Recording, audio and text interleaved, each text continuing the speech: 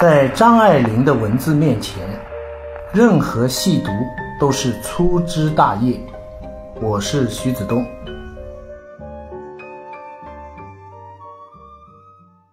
细读张爱玲，今天已经是三十三集了啊。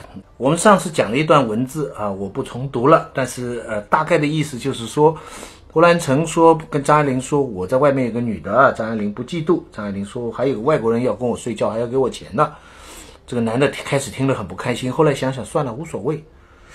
你们说这个这个事情是真是假啊？张爱玲说的这个啊，也许真的有人跟他说，呃，说这个话什么意思啊？这个因为你另外有别的女的啦，所以我以前也说过 I don't care，现在一下转不回来，所以我也有啊，试试看。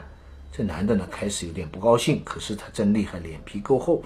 很快一想，没关系，为什么没关系啊？啊？这个没关系，里边可以看出呃他是不是真的介啊在乎他，或者是说呃他并不是真的爱他，或者说是个男人真的是相信中国传统文人的那种啊婚恋观，就是所谓这个么一个茶壶多个杯子啊，这你可以说他很传统，是中国那种茶壶茶杯的逻辑。你也可以说他是上升到像沙特夫妇那样那种互不干涉的开放婚姻啊，这个现代性解放的境界，这到底这个中间的余地有多大呢？呼兰成有意思的在哪里呢？就是说他这个人很花心，我们都知道，可是问题是一般男的花心啊都不敢说，只有他呢就是一点都不羞耻，他有一套理论，他在《今生今世》里边说呢，说男女之际啊，中国人不说肉体关系。或接触圣体，啊，或生命的大飞跃的狂喜，说的是肌肤之亲，亲可以生感激，一夜夫妻百世恩，这个外国人、西方人无法理解的意思是说，西方人把男女的关系啊联系到上帝很神圣，中国人把男女的关系呢就变成了一个家庭成员之间的关系，啊，所以呢，他这个觉得这个一株牡丹花开几朵啊。他说这个也没有什么特别不对的啊，他专门有一套这样的理论。当然，我们今天在引述的时候也必须加以批判，尤其是从男的角度来讲这个话哈。那《今生今世》里讲的这一段，这个男的在外面又找了个女的，女的说无所谓，这些东西有没有呢？这个你要对照《小团圆》跟《今生今世》呢，还真是大同小异啊，有的是小同大异。同的呢是谈话的内容，异的呢是语境语气。谈话的内容呢也都说了是这么一个情况，可是呼兰成记载的张爱玲好像很坦然，可是张爱玲描写的酒力，请记住哈，呼兰成记载的张爱玲在这个问题上好像很坦然，可是张爱玲描写的酒力确实非常痛苦。他是知己知彼，如果要保留他，就必须听他讲，无论听了多么痛苦。就是说，这个你要留住这个男的，啊你就得这我们都记得以前在跟记者啊，跟什么什么都女的常常也这样讲，这个什么是真，什么是假，你知道他是怎么样，你要得到他，你就得宽容啊，这个无奈的忍让。这个当年七巧的愤怒就是就是这样啊，你你明知道是假，你迟一点说穿不好吗？但是。描写酒力时一面微笑听着，心里乱刀砍出来，砍的人的影子都没有了。看看，就是两个人的说的话，把胡兰成的自传跟张爱玲的小说一对比，说的话很接近，但是这个心里很不一样啊。就是男的以为女的不在乎，女的心里是乱刀砍出来，还脸上还在微笑。这就是说，同一段关键的对话，男的告诉女的我有别人啦，但是女的笑笑说也有人追我。这个两个版本啊，男人视角跟女人心理不一样，名人自传跟小说角色又不一样，还有这个文本写作的时间也不一样，哪些是心理记忆，哪些是文学虚构啊？这个非常有意思。还有一个非常有趣的情节就是罗生门呢，就是一箱钱。大家看《今生今世》呢，我们记得胡兰成说过呢，他只给了张爱玲很少一点钱，他去拿去买衣服。呃，张爱玲觉得用丈夫的钱呢很实在，很舒服。但大部分的时候呢，胡兰成总是说女人怎么贴钱给他。事实上，这个后来他跑到温州啊，张爱玲也是给了他稿费。我以前引用过查建英的说法，说胡兰成是吃软饭吃出境界的人了。啊，这个可是没想到，这个查建英这个看了《小团圆》当中的一箱钱呐，他说：“哎，这还有点男人的味道。”在岭南开会的时候，我们一起吃午饭，有个场面印象非常深。王安忆说：“如果当年胡兰成真的给张爱玲那箱钱，《今生今世》那个自传，他为什么不写？”同桌的陈子善说：“如果没有那件事，那张爱玲《小团圆》为什么要写啊？”在小说里边，那个时候两个人关系还蛮好。男主角当然这个是贪腐来的钱呐，哈，里边还有税票，还有说那些日本人给他这个办报的钱呐，拿贪腐的钱来给女人。但是王安忆这个大家都知道，王安忆被认为是传承张爱玲风格的作家啊，这个他不信真有，否则胡兰成他说早吹了。陈子善说，要是没有的话，张爱玲何必写？我个人是这样认为的。假如此事属实呢，可能是胡认为吃软饭才是光荣，给女人钱反而羞愧。所以我们后来看《色戒》都知道，易先生送传之前的独白啊，他说给女人送礼是迟早的事，但不能送得太早，否则掉份儿。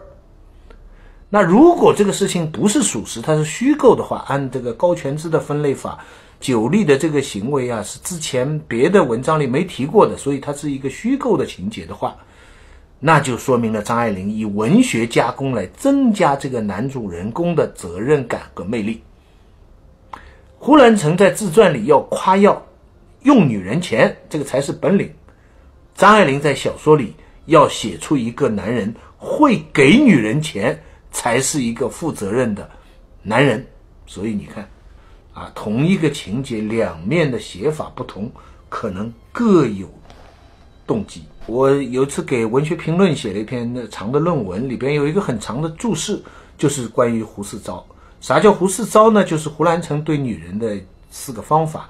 第一个就是非常赞成的张爱玲，那我们都说过了，顶天立地的世界六种震动啊，什么民国临水造花人啊，等等等等。那你以为他只是经验呐？等等等等。我顺便说一句，“经验”这个字啊，后来贾平凹都用啊。他说看了张爱玲的散文呢，也是劈头惊艳啊。这个贾平凹的一句称赞呢，我很印象很深。他说：“哎呀，亏得我跟他不是一个时代啊，否则我该怎么写啊？”啊，这这个是贾平凹跟他风格完全不一样，但是却理解张爱玲的这个文字的啊好处。千万不要认为胡兰成只是称赞呃张爱玲，她看到小周呢。他是怎么称赞的啊？他说他的声音华丽，只觉一片艳阳；他的人像江边新湿的沙滩，踏一脚都映得出水来。小周长身苗条，肩圆圆的，在一字肩与削肩之中，生得瘦不见骨，丰不于肉。这个，这我不知道是不是当面就说这样的话，反正这是事后的回忆了哈。说后来有一次飞机轰炸了，这个小周哭了。天上有飞机呀，他一哭，胡兰成就说他的流泪使我只觉得厌，他是苦亦苦的如火如荼，厌的激烈。你要多听几遍这个厌厌厌啊，这个也就女的就挡不住了。后来这个胡兰成逃难的时候，有个寡妇叫范秀美，从浙江丽水一直送他到温州，后来他们还同居。他怎么来描写这个范秀美呢？呃，胡兰成说，他的语言即是国色天香，他的人韵极是明亮无亏实，却自然有光阴徘徊。他的含蓄宁是一种无保留的恣意，却自然不洁不净。他的身世啊，疑是那开不尽春花春柳媚前川，听不尽杜鹃啼红水潺潺。历不尽人语秋千声声怨啊，望不尽的门外天涯道路，倚不尽的楼前十二栏杆。女人碰到这样的话，怎么挡得住啊？不管头晕感动，还是要昏过去了。我记得这个黄沾啊，有一次我们一起吃饭，他就说引用倪匡的一句话，他说：“你碰到女的越假的话，越好听的话，尽管说，不要难为情啊。”我这一直怀疑这一条，我说人怎么能这样呢？你明知道假的话，怎么能够厚着脸皮说下去呢？可是黄沾说：“你对女的别怕难为情，说。”我们的脸皮就是太薄啊，所以常常不成功哦。胡适招的第二招是马上结婚，你你不能光说好话的，女的很快对你起疑心，花心大少靠不住哈。所以呢，马上就要说我们永远在一起，我们结婚吧。女的就马上有一个很大的胜利感。我也不知道，今天你看，包括美国电影也是这样，当男的跪下来拿上一个戒指的时候，一般都表现成女人是好像取得了胜利哈。男人是没有当下就没有将来，女人是没有将来就没有当下。呃，当下就是现在啊，大家不要乱理解。所以呢，马上讲结婚呢，效果很好。当然，胡兰成结婚的定义跟大家不一样，这个问题我们呃大家可以理解哈。哎，好话，结婚还不够。第三要花女人钱，给女人花钱是狗咬人，花女人钱才是人咬狗。啊，才有新闻价值。对女人来说，讲的这么美好，又要马上结婚，她还肯用我的钱，说明我们已经在一起，不分你我了啊！所以这个阿成啊、陈丹青他们都夸奖胡兰成的文字好，可我真是看到胡兰成说他最后跪在这个佘爱珍啊，以前一个黑手党大佬的老婆，女的应该五十多岁了吧？胡兰成三十多岁，这个跪在他面前，这个头伏在佘爱珍的膝盖上。我这不还是不大想象得出这个男人的乐趣在哪里哈。这个据说这个沈海珍深明大理啊，胡兰成跟他讲过去女朋友的事情，他说你这个小周啊寡妇都不要来往了，张爱玲呢你还可以来往。在一个人的人品跟文品之间呢，到底是一个什么样的关系？我其实是一直矛盾的。理性上我不赞成这个文品跟人品的直接的关系。我的老师许杰先生说我们要做。人类灵魂工程师，这个文学是人类灵魂工程师，教师是人类灵魂工程师。我是在师范大学读文学，就是双倍的啊培训人类灵魂工程师。我后来回学校校庆啊，就当着董卿他们的面说，这个我这个几十年的经历就是尽量不要让自己的灵魂被人家来来来设计哈。这个，但是碰到像呼兰成这样的男人，哎呀，真是还是一个问号。第四招，一切公开，这个很难呐。我们一般男的看到一个喜欢的女的，最差的男的怎么样呢？一看到喜欢你的，就说自己过去的女的不好，哎，我老婆怎么闷呐？我的老婆不讲道理，害我啊，最差的。第二类呢，就是不谈啊，女的千方百计要要问你，你什么什么什么，我男的我就是不谈。这个男的多数是这个第二种水平。胡兰成是第三种境界，他原原本本把以前的故事讲给女的听，而且他不说原来的女的不好，还说很好。你看他对小朱说：“我张爱玲怎么怎么好。”他对张爱玲也说他原来最早的老婆怎么怎么好。他碰到后来的那个黑手党大佬，他肯定又把前面的说一通，怎么好怎么好，啊，什么都说。据说呢，他说了以后，小周都不相信他曾经结过婚，那小周以为他瞎说。他说：“你有个太太在上海什么？”他说：“我不能先跟你，就我我跟张爱玲都没有办仪式的，你不能抢在前面。”这个小周说：“好好好，那我不能嫉妒他，啊，等到他后来逃难的时候，他还说中国古代，呃，男人呢出去要逃亡了，这个老婆在家里守着，这是常有的事情啊。这个，他不管怎么样了，胡兰成这个奇葩的爱情故事一个比一个美好，而且全部透明。我觉得至少政治家应该向他学习。”全透明。我们前面讲过九力啊，爱情的原则不要像我，不要太漂亮，然后要非功利。我们现在又看到了胡兰成、胡四昭，这个要说好话、结婚、花女人钱，然后一切透明。这个对比一看呢，这样的双方的战前准备啊，胜负是很显然了。这个女的是不堪一击的。但是在做这样的比较的时候，我们必须做一个技术上的说明。很简单，这个时候我们在讲男的，我们是在讲胡兰成；我们在女的，我们是讲的是九莉，是一个虚构人物，所以他们不能简单的做比较对等。整个小团圆的分析过程，我们不能一男一女做比较，我们必须是两男两女。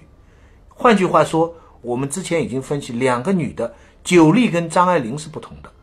凡是里边出现过九莉有的情节，张爱玲从来没有出现过的，那都是文学虚构。八百块钱呐，啊，送给他的一箱钱呐，还有包括其中有一些乱刀砍去啊，等等等等，那些是属于九莉的啊。那现在更重要的是，我们除了要厘清九莉跟张爱玲的关系以外，更重要的这篇小说更有价值的一点是邵之庸跟呼兰成有差异啊，这一点非常重要。我觉得反过来讲，再通俗一点吧。就是张爱玲在《小团圆》里，把她个人的私隐做了非常重要的改编。这个改编最重要的是两点：第一点，胡兰成今生今世里边这个男人是一夫多妻或者一男多女为荣，问心无愧，很坦然。可是到了小说里边怎么描写呢？比比与之庸到阳台上去，久立坐在窗口书桌前，窗外就是阳台，听见之庸问比比：“一个人。”能同时爱两个人吗？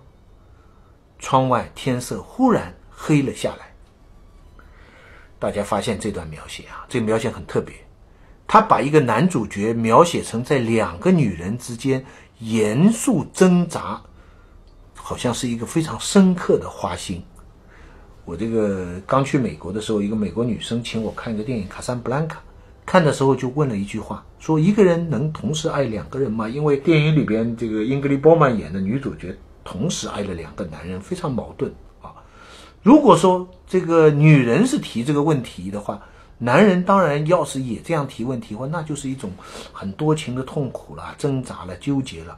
所以小团圆里这个阳台一幕，跟今生今世里边什么茶壶杯子之类的这种姿态，显然是很不一样。这个不一样，不仅是胡张的不同回忆不一样，更是生活现实与文学创作的区别。所以，这是胡兰成跟邵之庸的第一个重要区别。第二个，胡兰成自传宣传吃软饭，到张爱玲小说里变成了提来一箱钱，这又是一个很大的不同。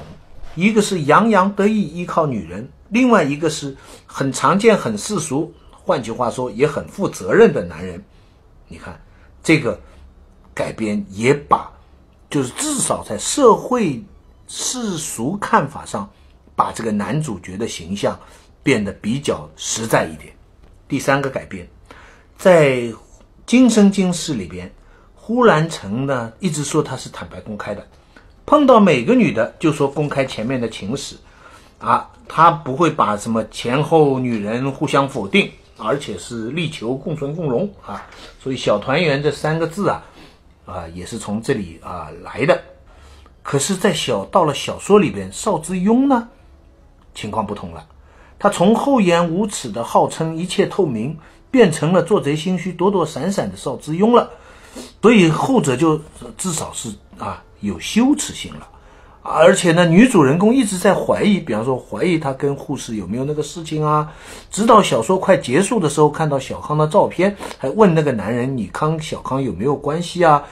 九莉连武汉护士的事情都弄不清楚，更不知道这个男人逃亡时又对另一个女人以身相许。这个加个注解啊，这个是胡兰成说他们到丽水啊，遂结为夫妇之好。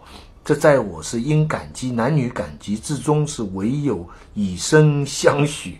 男的说自己以身相许，这个真是奇葩啊！这个也是这是第三层的改变，就是说，今生今世里，张爱玲貌似很早就坦然接受了一男多女的复杂关系，可在小说里，女主人公就像一般爱情小说的女主人公一样，不完全知情，不愿意接受，一直在抗争挣扎。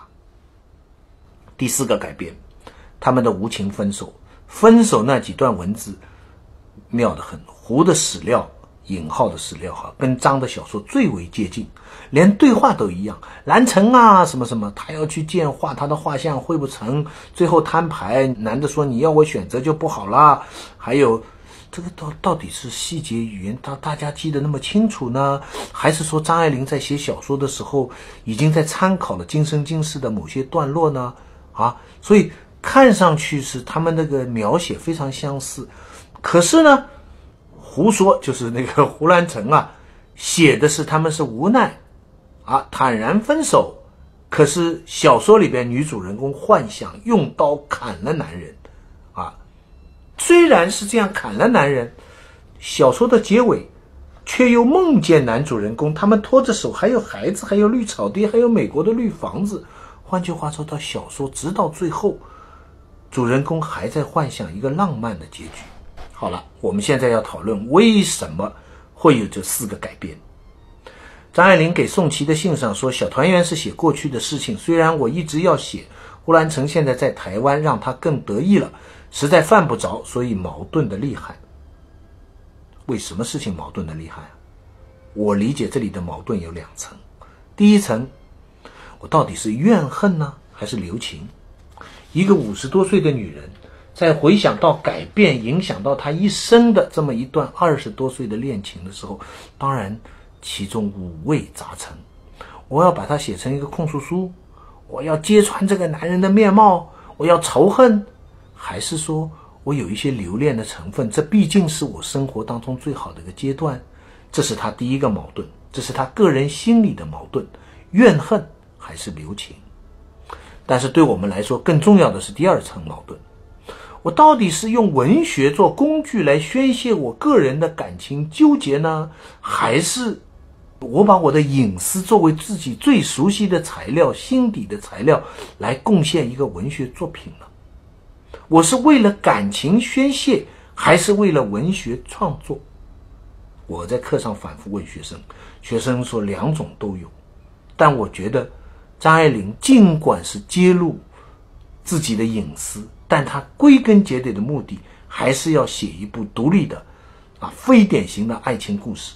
长篇一部长篇小说，啊，理智上张爱玲不愿意原谅那个曾经让她受罪的男人，写信的时候都说无赖人啊，也说他的是这个男人是一块块撕开他的伤口，啊，这个检点这段感情如何铭心刻骨，甚至有点跟今生今世的对话的潜意识欲望，啊，但是，一旦进入创作，他实际上。不是贬低了今生今世的胡兰成，而是把胡兰成拔高了一，成为一个很矛盾的、很复杂的、挣扎的一个邵之庸的这么一个形象。啊，在我看来啊，这个是某种形式的为了文学献身。生命诚可贵，爱情价更高。若为文学故，两者都不重要。仅就他个人而言，这个男人创伤这么深，张爱玲要写个自传，完全可以不必这么写。可他时时记着这是个爱情小说，他要写什么样的爱情小说呢？啊，改写了大半生的最后的爱情小说，它里边一方面特别注意身体物质层面的细节、生理、心理的动作，整个爱情故事是理智、具体、现实。可是另一方面。又特别强调非理性跟无目的，明知要受伤、受苦、受罪，依然眼睁睁地走进去，崇拜、迷恋、纠结，义无反顾。瞿秋白当年说：“冰姿是飞蛾扑火，非死不止啊。”张爱玲给宋琦夫妇的信里边说：“看到糊的东西就忍不住要出恶声啊，就是要骂他。可是，在小说里最后却是美声。”啊所以严格说来，张爱玲写男女战争比一般爱情小说更现实、更世故、更残酷，又比一般的爱情小说更理想、更痴迷、更浪漫。这是我的一个解读。